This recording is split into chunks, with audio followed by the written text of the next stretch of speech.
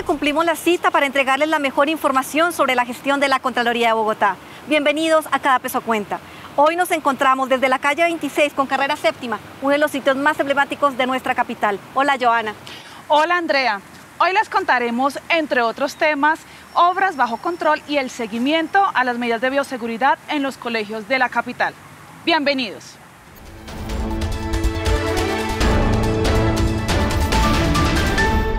El programa Obras bajo control ha permitido identificar a la fecha 23 proyectos de gran impacto para la ciudad y que aún no entran al servicio de los ciudadanos. La Contraloría de Bogotá les hace actualmente seguimiento. Andrea, precisamente las visitas realizadas encontraron que 21 obras no cumplen con el cronograma de ejecución y 14 han solicitado adiciones presupuestales. Precisamente, Joana, usted estuvo en una de esas obras, en la planta Francisco Vierner, en el municipio de La Calera, donde se busca ampliar las unidades de filtración para aumentar la oferta de agua potable para la ciudad. La obra fue abandonada por el contratista a mediados de febrero. Cuéntenos más sobre este caso. Efectivamente, la Contraloría de Bogotá se encuentra en la planta de tratamiento que tiene como fin proveer el 70% de agua potable a la ciudad de Bogotá. Hemos preparado para ustedes el siguiente informe.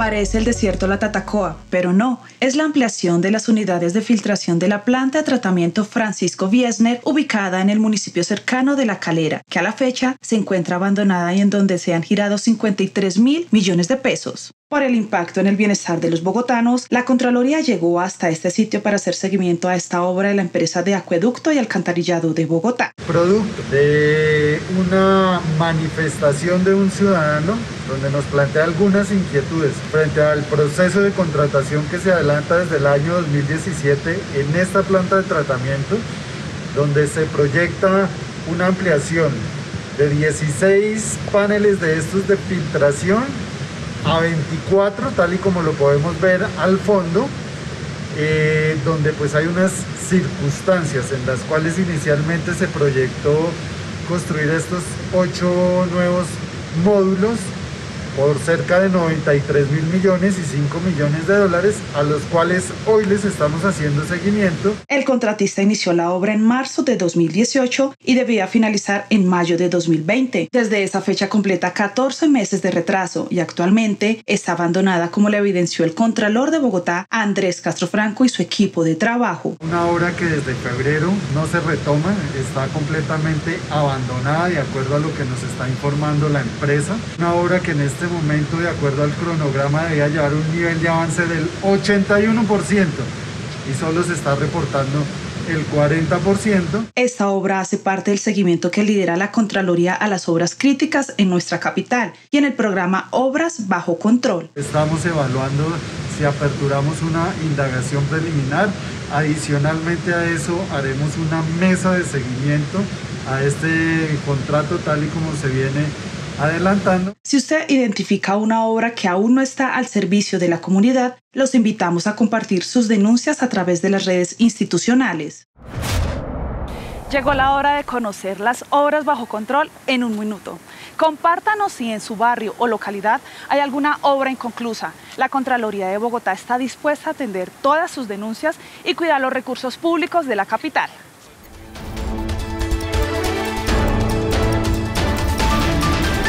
Obras bajo control. La Contraloría de Bogotá ha continuado en su labor de identificar obras de gran impacto del distrito, que a pesar de lo establecido en los contratos, aún no están al servicio de la ciudadanía. En la plaza de mercado del barrio Santander, con inversión de 1.500 millones de pesos, se hace la adecuación y el mejoramiento, pero el lugar no está funcionando en su totalidad y hay comerciantes afectados porque no tienen los espacios adecuados. Los trabajos están paralizados y no hay recursos para culminarlos. La obra fue priorizada por la Contraloría y el caso pasó a la unidad de reacción inmediata.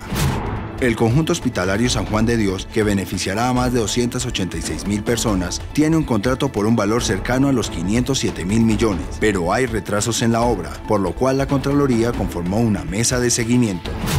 Otra obra que está bajo la lupa de la Contraloría es el Centro Día Campo Verde, en Bosa, que está abandonada. Actualmente, su contrato se encuentra en litigio por la declaración de incumplimiento parcial, lo que por ahora deja el proyecto en el limbo. Sobre este centro día existe un hallazgo fiscal por más de 1.200 millones. El organismo de control indagará las acciones que ha adoptado el distrito para darle continuidad al proyecto, que atendería por turno de forma simultánea a más de 100 adultos mayores.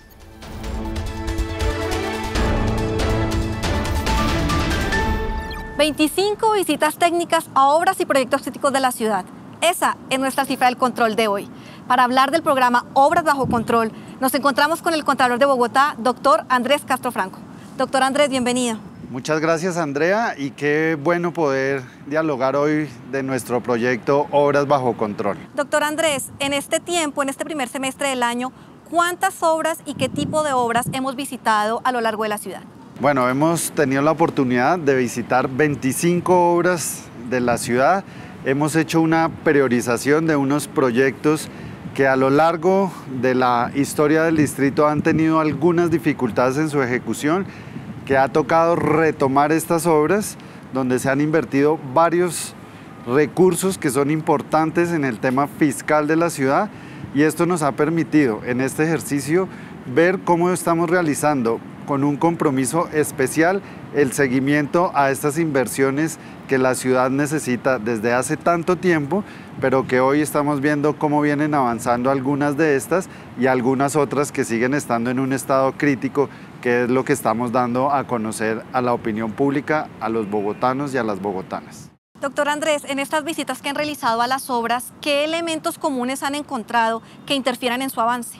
Bueno, hemos hecho un análisis de 22 de las 25 obras, donde de, de, estas 21 hemos logrado establecer que no se ha cumplido con su cronograma, lo cual evidencia pues que hay una deficiencia en el proyecto en su fase de prefactibilidad y factibilidad. Adicionalmente a esto pues también hemos logrado evidenciar una debilidad en la fase de planeación y además también hemos visto que dentro de los principios de esta contratación el tema de la economía se ve afectada porque son proyectos a los cuales por lo general toca adicionarles recursos. Entonces también ahí hemos logrado establecer que 16 de estos 22 proyectos han tenido que realizárseles prórrogas, a 15 se les han tenido que realizar eh, suspensiones, a 14 adiciones y a 11 de estos modificaciones, lo cual es un elemento que va a ser de mucha utilidad para que se tenga en cuenta en lo que se está proyectando en los próximos proyectos de inversión, sobre todo en materia de obras públicas. Señor Contralor, ¿cuántas obras tenemos previsto visitar en el resto de año? Bueno, tenemos una meta de completar 50 obras.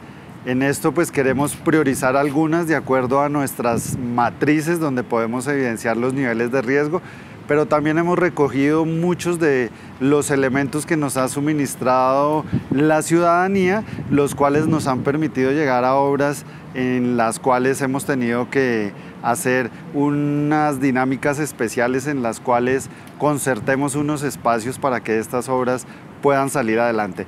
Ya cumplimos la mitad de esta meta y la proyección que tenemos es poder realizar otras 25 obras como mínimo en esta vigencia. Pues doctor Andrés, muchísimas gracias por hablarnos de nuestro programa Obras Bajo Control. Bueno, no, muchas gracias por el espacio y además desde aquí queremos invitar a toda la ciudadanía para que se una a nuestro proyecto de obras bajo control. El control lo hacemos todos y desde la Contraloría de Bogotá seguimos trabajando en el seguimiento a estas inversiones. Cada peso cuenta en el bienestar de los bogotanos. Precisamente a estas obras bajo control les hacemos un seguimiento especial desde la Contraloría de Bogotá. La doctora Patricia Duque Cruz, nuestra Contralora Auxiliar, nos amplía este tema. Veamos. 23 mesas de seguimiento en el marco del programa Obras bajo control ha realizado la Contraloría de Bogotá a obras de alto impacto con el fin de hacer un acompañamiento y verificar su avance. ¿Quiénes participan en ellas? La Contraloría de Bogotá, las mesas de seguimiento que viene desarrollando desde que inició el programa, invita al sujeto de control que tiene la obra bajo su responsabilidad. En el caso del sector movilidad, por ejemplo, si nosotros hicimos una visita a la Troncal Caracas, pues invitamos a la oficina o a la dirección de movilidad, en su caso, eh, al contratista que está ejecutando la obra, al supervisor de la obra como tal, y obviamente los funcionarios de la Contraloría que están a cargo de hacerle seguimiento a la misma. Dentro de las obras a las que se les ha hecho especial seguimiento se encuentran. Nosotros hemos eh, tenido bajo la lupa o acompañado la Unidad Deportiva El Salitre, que es una obra de suprema importancia para la ciudad, que ha afectado a 11 ligas deportivas y debemos eh, en el sector salud la obra del Hospital de Kennedy, el Hospital de Mason, que es una obra de hace muchos años, el San Juan de Dios, que es una obra de suprema importancia para la ciudad. En materia de seguridad tenemos la Metropolitana de Bogotá. Este seguimiento se continuará adelantando en beneficio de los dineros de los bogotanos.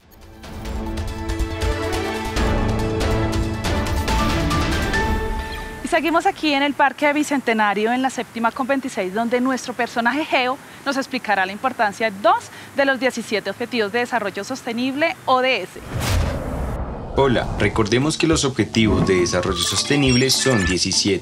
Hoy les hablaré del primero y el segundo. El primer ODS se denomina fin de la pobreza y sus estrategias se enfocan hacia la reducción de sus niveles en todas sus formas, pues más de 783 millones de personas en el mundo viven con 1,9 dólares diarios. El segundo ODS pretende evitar la desnutrición y el hambre en el mundo, pues se calcula que 690 millones de personas las padecen. En nuestra ciudad, la Contraloría de Bogotá vigila que las entidades distritales cumplan las metas frente a la implementación de los ODS de hecho, en el primer semestre de 2021 ya ha determinado hallazgos por incumplimientos.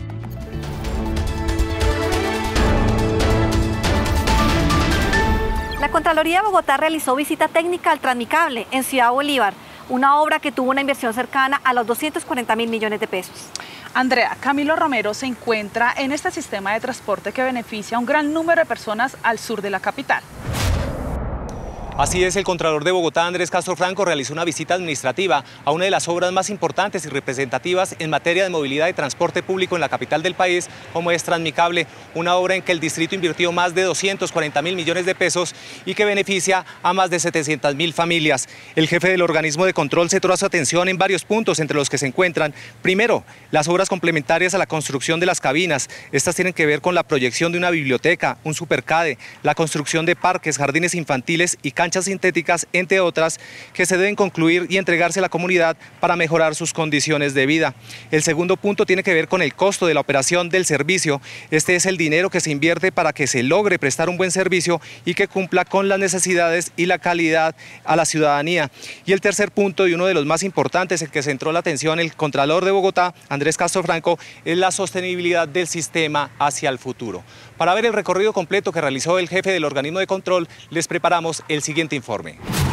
A primera hora de la mañana, el Contralor de Bogotá, Andrés Castro Franco, y su equipo de trabajo verificaron el beneficio que tiene a diario cerca de 700.000 habitantes con este sistema de cabinas a una altura de 263 hasta 400 metros en algunos puntos. El trayecto de 3 kilómetros 400 metros desde el portal Tunal hasta la estación El Paraíso disminuyó los tiempos de desplazamiento de 45 a 13 minutos. Durante el recorrido, también vieron operando el sistema a su mayor capacidad, el sentido de pertenencia que tiene la comunidad que ha impedido que se vea vandalizado en las más recientes protestas registradas en la ciudad. Hay un sentido de pertenencia, de compromiso, el cual demuestra claramente que los bogotanos sí podemos cuidar el patrimonio público de la ciudad. También se detalló en las estaciones y pilonas el avance de las obras que representan una renovación urbana en el entorno y el mejoramiento de la calidad de vida de los habitantes de Ciudad Bolívar, como los supercades, jardines, gimnasios, centros de formación artística y de atención para niños y adultos, entre otros. En torno a todo el Transmicable se han venido dando unos desarrollos dotacionales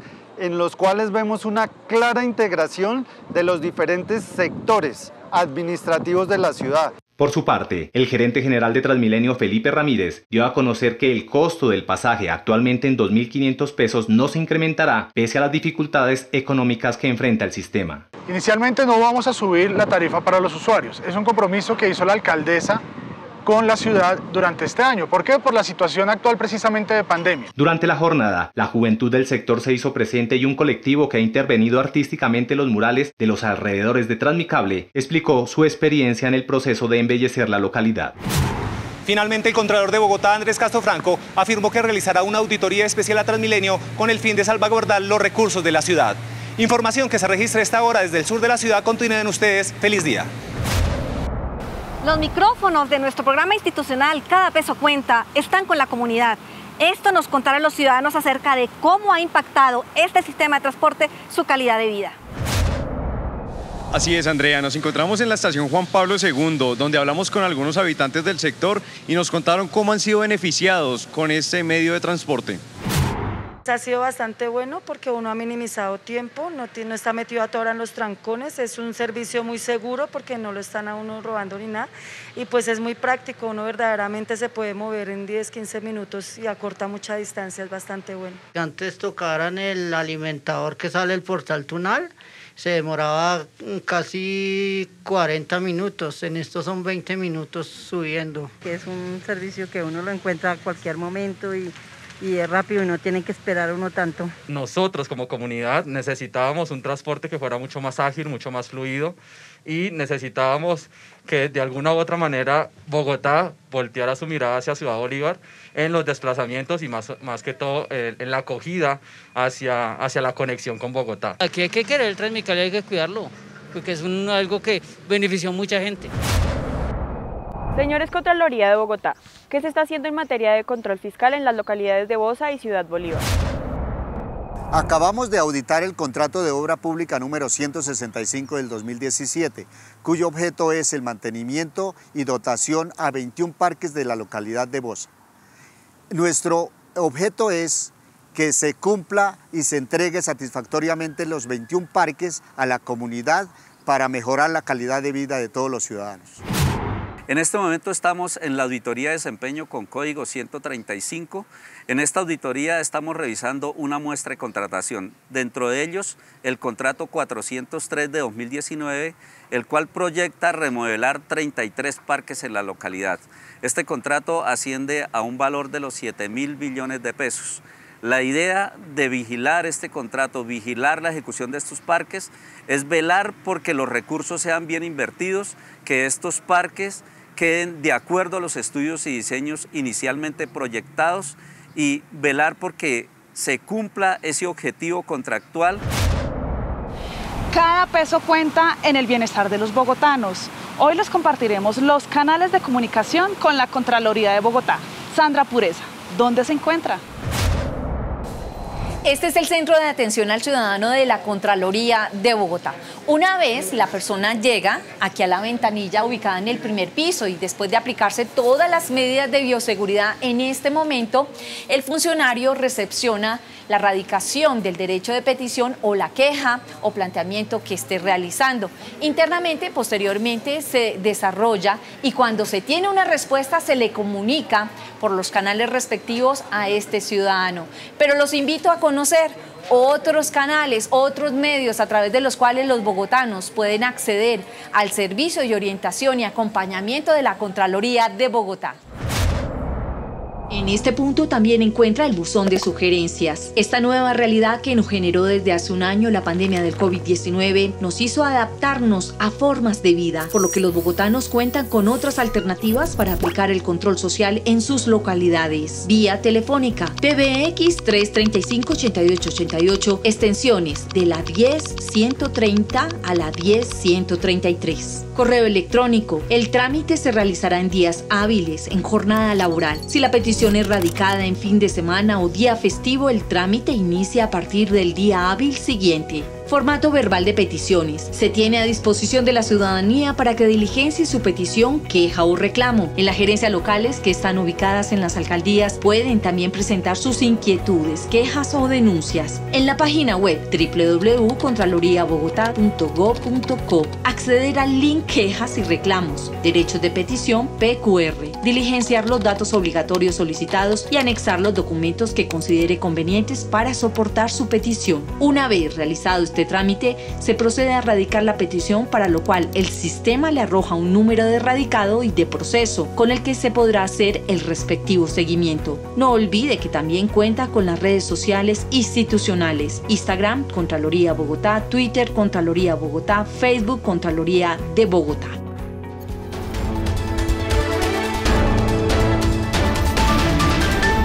La Contraloría de Bogotá visitó 358 colegios oficiales para conocer las inversiones en los protocolos de bioseguridad con miras al retorno presencial seguro de los estudiantes del distrito. Los resultados de esta verificación los presentó directamente el Contralor de Bogotá a la Secretaría de Educación. ¿Y cuáles fueron los resultados?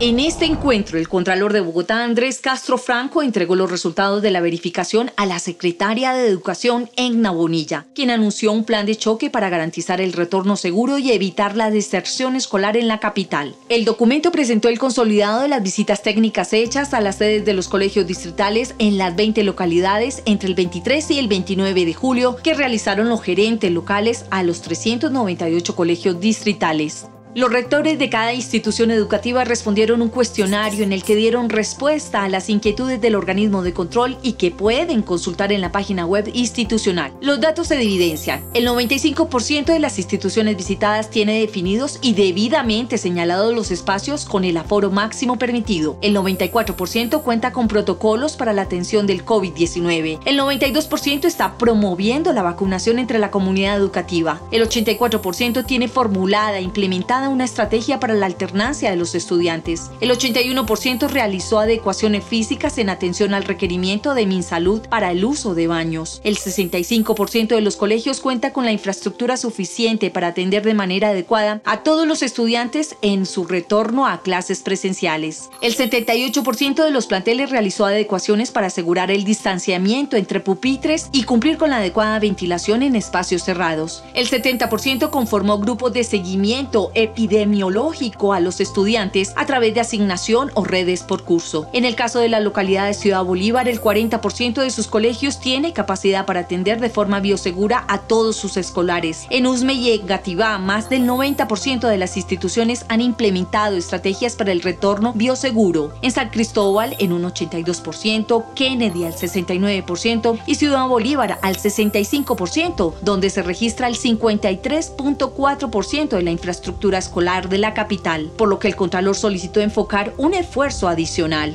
Se conoció además que la Secretaria de Educación ha realizado una inversión total de 62 mil millones de pesos en la implementación de las medidas de bioseguridad de los colegios oficiales de nuestra capital.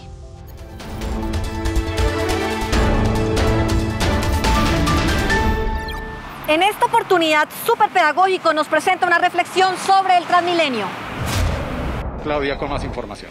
Gracias, Wilson. Ahí estaremos pendientes. Entre tanto, en Bogotá, el 88% del sistema Transmilenio ha sido afectado durante los 27 días de bloqueo, según el reporte que entregó hoy el Contralor Distrital Andrés Castro. Las pérdidas superan los 18 mil millones de pesos.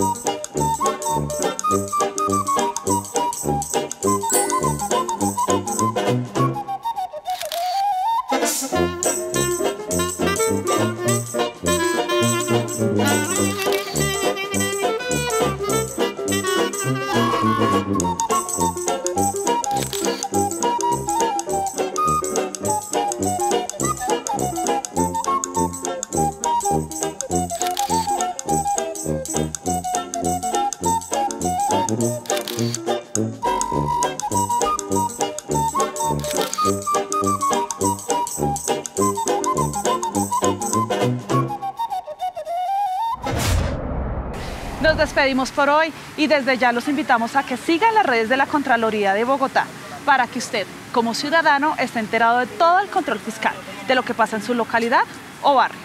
Y recuerden, donde hay un bogotano, hay un contralor. Nos vemos pronto.